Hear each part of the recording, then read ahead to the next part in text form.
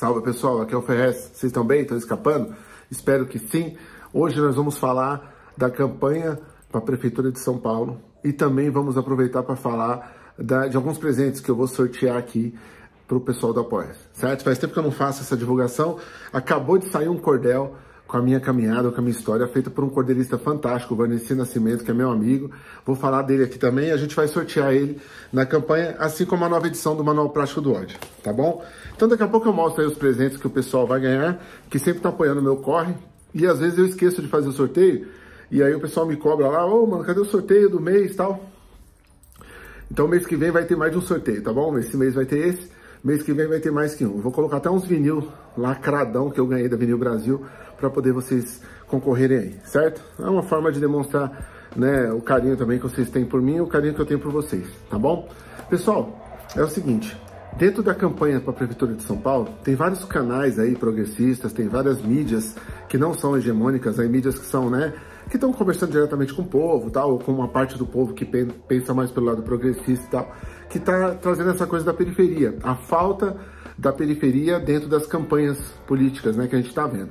Claro que a gente tem ali a Tabata escrevendo que é da periferia, a gente tem a caminhada do Guilherme Boulos do Lago da Batata, junto com o pessoal, com a Marta e tudo, até o Campo Limpo e tal. Mas eu queria tocar nesse ponto específico desse buraco esse buraco realmente que existe dentro da comunicação e dentro da, do translado, vamos dizer assim, né?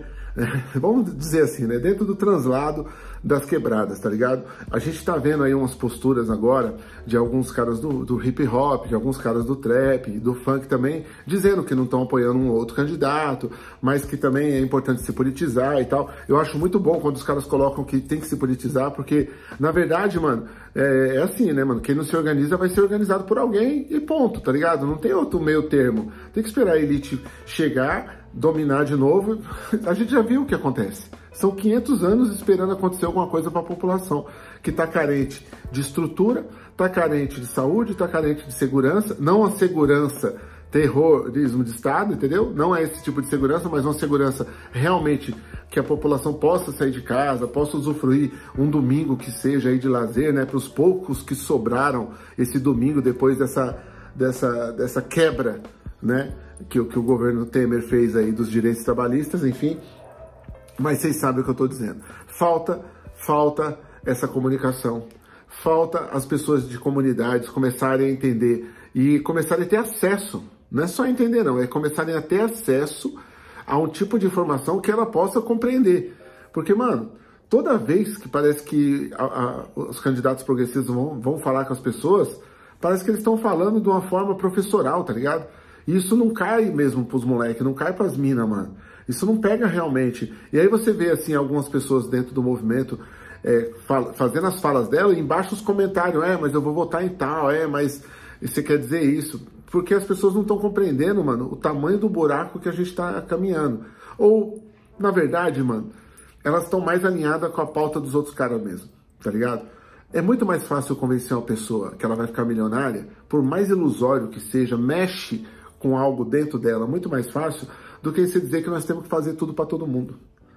Você entendeu? Quando você tem uma fala dentro de um discurso, ou dentro de um palco, ou dentro de um livro, ou dentro de qualquer coisa, você tem, né, de uma música, enfim, você tem uma fala mais centrada no individualismo, ela pega muito mais, é muito mais chiclete do que uma falta comunitária, uma fala comunitária, do que você falar que se unindo nós vamos conseguir algo. Olha a volta que eu tenho que dar no método de ensino para falar que dentro da instituição lá que a gente tem interferência, tem aulas coordenadas para poder a criança pensar, para poder a criança ter o senso cognitivo aumentado, para a criança ser provocada ao ponto dela discutir aqueles temas. É muito mais difícil dar essa volta toda do que dizer, ó, você tem que ficar rico, você tem que ter essa oportunidade de ficar rico. E também nós estamos lutando ainda contra uma igreja que prega isso, um movimento musical ou mais movimentos musicais que pregam isso, certo? Porque hoje em dia não é diferente a fala de um cantor de trap para um pastor na igreja, a fala de alguns cantores de rap para um pastor de igreja, não é diferente, Deus é a solução para tudo, certo? O resto é conversa fiada, então você vai em Deus. Primeiramente é isso, né? Primeiramente, Deus é a solução para tudo. As pessoas agradecem, o nosso povo é tão humilde e tão desesperado também, né, mano, por esperança, é, que a gente agradece em momentos de crise, mano. Eu vi agora, né, mano? Infelizmente os municípios pegando fogo aí, o bagulho tá louco, mano. Nossa, mano. Um monte de gente já sem, sem ter onde morar, mais gente ainda sem ter onde morar, e aí tem alguns colocando a, a, ah, o fator climático. Não, a gente sabe de onde está vindo isso, né, mano? Quem convive nessas regiões, Noroeste Paulista inteiro, eu já fiz de palestra, sabe que também tem toda a especulação pelo terreno. Você tem um terreno de um alqueire, o cara já tá de olho para plantar soja, tá ligado? Então, assim, as matas nativas devastadas, as coisas tudo sendo mudadas, né, mano? E aí o preço vem dessa forma, tá ligado? Mais uma vez o agro provando que não quer alimentar você, tá ligado? Que ele só quer lucrar. É, quando a gente fala de agro, tem um monte de é, mas é a mão de obra, o pessoal do campo. Irmão, vocês estão iludidos com essa, essa imagem de gente do campo. É um cara pilotando uma, colha, uma colhedeira aí para milhares e milhares de, de, de, metros, mano, tá ligado? Não tem mão de obra assim também, sendo usada dessa forma, não, mano. E quando é usada, vocês sabem que é uma forma triste de ser usada, né, mano? Também, né, mano? É até a pessoa morrer ali de trabalhar. Por exaustão, inclusive, né? Tem muitos casos desses aí. Mas voltando aí ao mote da nossa conversa, para a Prefeitura de São Paulo, tá ligado? E para o que está acontecendo na, né, na eleição de forma geral, eu tô vendo muita gente falando, não, tem que ser assim, tem que ser assado, a comunicação. Mano, será que dá tempo? Será que dá tempo, pessoal? Vou perguntar isso para vocês. Isso não tinha que ser pensado já ano passado? Isso não tinha que ser tá já em execução? Esse tipo de fala, de conversa? Por que que tudo parece gourmet, mano? Onde eu olho, parece tudo gourmetizado, mano. Tá ligado? Tudo que eu olho e falo, mano, mas o cara vai fazer isso aqui, mas isso aqui é muito. Isso aí já foi feito há 20 anos atrás, mano. Sério, mano. Tá ligado? Você tá aqui com passeata, com manifestação. Nós estamos sempre contra os bagulho, mano. É outra coisa também que eu tô. Ah, Fez, mas tem que gritar. Não, tem que gritar, mas em casos pontuais você tem que gritar mesmo. Mas em outros casos você tem que construir, mano. Você tem que construir, mano. Tem que votar, tem que derrubar plebiscito, tá ligado? Tem que fa fazer uma organização política de verdade. Então, assim, mano, em vez de ficar lutando contra a creche que não tá dando vaga, é lutar para ter uma creche na sua região, tá ligado? E essa creche ser inclusiva, ela ser construída direito, tá ligado? Eu vi várias instituições dentro da quebrada serem construídas oprimindo o povo, mano. Vindo construtora de fora levantando tudo, vindo engenheiro, vindo tudo, e aí a população é inserida para limpar, tá ligado? E depois dá tempo dessa, dessa instituição ela ter realmente penetração dentro da comunidade? Não dá, mano. Entendeu? Então, assim, eu queria chamar vocês para essa reflexão, mano.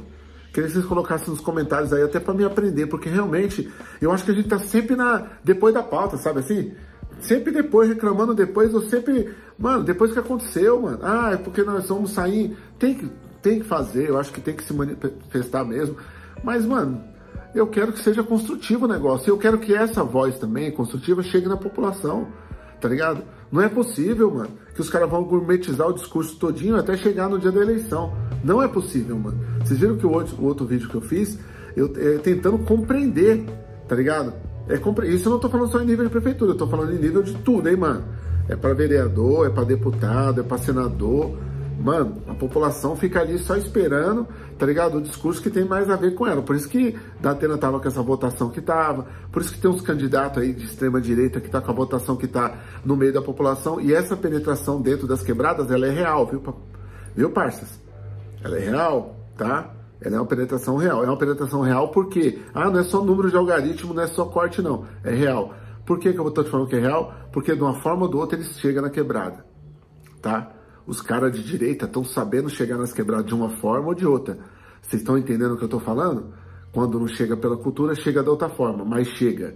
Vai chegando, vai cerceando, vai, vai namorando, trocando ideia, e aí a comunidade vai fazer o quê? A comunidade é refém de uma parte de situação, né? A comunidade é refém de uma parte de situação, a comunidade só fala, não, entra aí, então demorou, não pode falar nada, tá ligado? Porque os caras que traz já é... Você vai falar o quê? Você vai bater de frente com os caras que tá trazendo?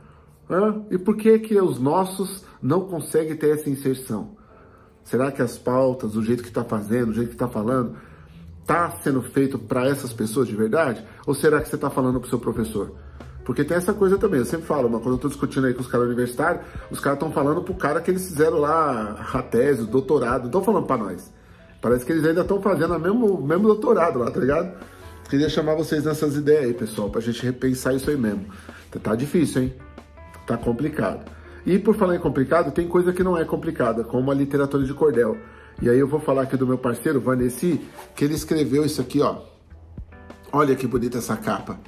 A Visita da Fome na Mesa do Escritor. Vanessa Nascimento, a editora dele aqui chama Piu Piu, é o rosto dele, mal barato. Ele fez um, ele pegou um texto meu que eu falo no TEDx São Paulo sobre o lançamento do meu primeiro livro, a luta que foi distribuir na rua, o cara que negou o livro e ele ficou guardado no banheiro muito tempo, e ele pegou essa história e ele fez uma literatura de cordel, né? A produção editorial é do Aderaldo Luciano, a ilustração de capa é do Valfredo de Brito, que também ficou incrível, tá ligado? E o livro é feito pelo Vanessa Nascimento a partir de um depoimento meu, né? Que é essa fala que eu fiz aí. Aí, dentro tem Esperando o Busão, que é um texto do Aderaldo Luciano aqui, ó, tá? Tem a Visita da Fome na Mesa do Escritor, né? Que é o cordel mesmo, certo? Tudo em cordel aqui, mano, muito legal, mano. Eu fiquei orgulhoso porque eu sou fã de literatura de cordel, né? Quem aqui, nesse exemplar, vocês vão saber a ligação que eu tenho também com a literatura de cordel, né? Vão saber porque, o tanto que impactou essa literatura de cordel na minha vida, tá? E também tem aqui um, um depoimento meu, da minha amizade com o Varnesi, né? Como que eu me aproximei dele, ele deixou eu me aproximar dele, porque o bicho é um monstro. E depois tem um depoimento do Vanessa sobre o meu pai aqui, ó. O meu pai aqui, o meu papai aqui, ó. O meu pai que tem essa influência, né? Aí tem um depoimento do Aderaldo e tem um acrósticos, né? Que aqui tá explicando também o que é os acrósticos e tal. Então, pessoal, ó, esse aqui tá para venda na Onda Sul. E eu vou também sortear esse, o Capão Pecado, certo? Essa edição da Companhia das Letras aqui de bolso. Vou sortear o Manual Prático do Ódio. Os três vão estar no sorteio do Apoia-se. Se você não é apoiador, entra aí, apoia-se barra Ferrez. Se você não gosta de receber os brindes, não tem problema, os presentes que eu mando, não tem problema, mas é porque a gente tem essa campanha para poder fortalecer as frentes aí que eu estou encampando, tanto no podcast, como nas palestras, como na, na, publicação, né, que nem essa daqui, que a gente acaba é, bancando a parte da publicação também, tá bom? E o outro pacote que eu vou dar, são três pacotes, tá? Agora no final do mês, é, por membro do Apoia-se. Um é, são esses três livros, o outro é o João Gordo, feito pela Porco Ovelha. Essa edição do João Gordo aqui. A Porco Ovelha é uma empresinha que eu fiz de bonecos, que a gente licencia é, artistas nacionais né, e militantes nacionais. Então você vai lá, Porco Ovelha Toys, tá ligado? É, no Instagram, você vai conferir aí ó, o que a gente faz. Tudo fabricação nacional, brasileira. Mó trampo fazer um boneco desse. E maior orgulho de fazer, né? Tem muito super-homem, muito Batman aí na vida, tá bom? Então, no outro pacote a gente vai sortear esse, a Godzilda, que é a primeira dinossauro trans nossa aí, ó, tá ligado? que a gente fez também. E vai junto dos dois bonecos uma caneta especial que eu comprei só para essa campanha aí, ó. Uma caneta do Arnaldo Antunes, tá bom? Eu comprei essa caneta na Penzendolls, ó. E eu vou dar também para um dos inscritos aí que fazem parte da campanha do apoia tá bom? É uma forma carinhosa que a gente tem de agradecer vocês por esse apoio recorrente todo mês. Você pode ajudar com qualquer forma, com qualquer valor. É nessa campanha, entra lá, apoia-se barra Ferrez, que aí a gente consegue fazer vários trabalhos artísticos que a gente está fazendo, mantendo o podcast, toca, é, tocando o selo da Selo Povo, aí, editorial, ajudando outras editoras, ajudando outros selos e fazendo toda essa luta de militância e tal que vocês conhecem aí, que vocês veem no canal, tá bom? Entre aí nessa campanha se você puder. E no mais, digam o que vocês acham que tá faltando aí, tá ligado? Para poder a população de fato ter, ter acesso à informação dos candidatos que ela deseja e que tem a ver mais com a pauta dela, tá? Tamo junto, um abraço.